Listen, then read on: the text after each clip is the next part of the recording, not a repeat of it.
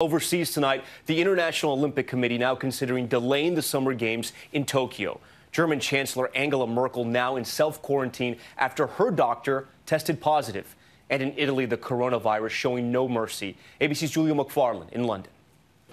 Tonight, another devastating 24 hours in Italy. At least 650 people dying.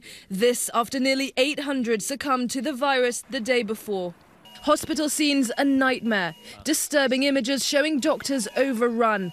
Now, 5,400 fatalities since the outbreak. One doctor in the hard hit region of Lombardy saying they are not eating or going to the bathroom during their shift in order to preserve their masks and gloves. I'm not concerned for myself. Um, the only problem is that uh, I'm worried that if I get sick, I cannot help anymore. Pope Francis delivering an extraordinary Urbi et Orbi blessing from an empty St. Peter's Square.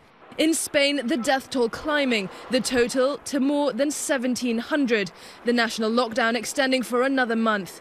Germany's Chancellor Angela Merkel now going into quarantine after finding out her doctor tested positive. The country now banning outdoor meetings of more than two unless it is for essential work and police in Paris out in force, checking people's papers, making sure they need to be out in public.